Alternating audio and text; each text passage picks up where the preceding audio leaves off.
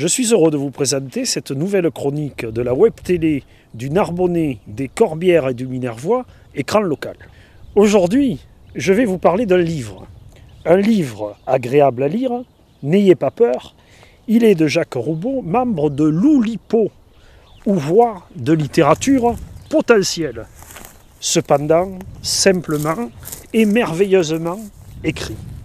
C'est un livre que j'aurais aimé écrire et qui ressemble beaucoup à ce que produit mon ami l'écrivain Christian Pastre. Je pense notamment à La fleur du bûcher et Vendanges amères. Même ambiance rurale des Corbières et, du Minervois. Dans ce livre de Jacques Roubaud, intitulé Parc sauvage, c'est le midi dont je suis Fada et Fana qui tiennent le lieu de cadre de jeu à deux enfants, Dora et Jacques maintenant. Comprendre que le second, ayant changé d'identité, nous sommes en 1942, s'appelle maintenant Jacques. Ils sont hébergés dans une propriété non loin du village de Saint-André de Roquelongue. Je vous lis un passage. L'allée s'ouvrait à un bout sur la route, une route des Corbières, vers un village, Saint-André de Roquelongue. À gauche, quand on sortait, sur une route descendante, le village était à un kilomètre environ. Effectivement, les enfants ne sont pas loin de notre belle abbaye de Fontfroide, qu'ils visiteront d'ailleurs par la suite. Le parc, parc sauvage, est leur lieu de jeu, grouillant de lézards verts, de lézards gris, de couleuvres placides. Les repas font découvrir à Dora l'œuf de Cannes, les travaux des vendanges, les espaces libres et cultivés, où les sauterelles bleues ou rouges fuient quand, après les avoir capturés, Dora et Jacques les libèrent. Un monde de jeu Vraiment?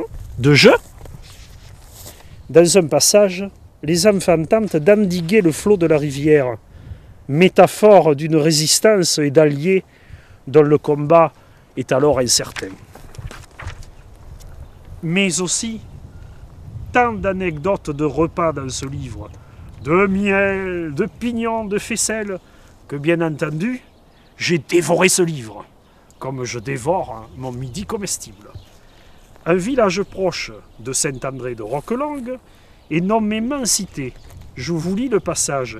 Il s'agit du petit village de Ville-Rouge-la-Crémade, c'est-à-dire Ville-Rouge-la-Brûlée. Un village dont le nom contenait à la fois la couleur rouge et la brûlure. La marque, ou l'hypo, dans ce livre, est présente surtout dans la narration. Quelques italiques dans le texte donnent postérieurement, si je puis m'exprimer ainsi, du relief, ainsi que certains soulignements présents dans le texte.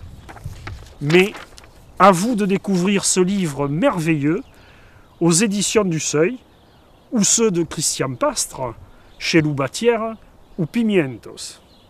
Autre chose, retenez bien le nom du village, Saint-André de Roquelongue, car il pourrait bien devenir célèbre. En attendant, comme dirait Lucrèce, disciple d'Épicure, à la prochaine fois, si les galactons et petits galactons ne vont pas galacter.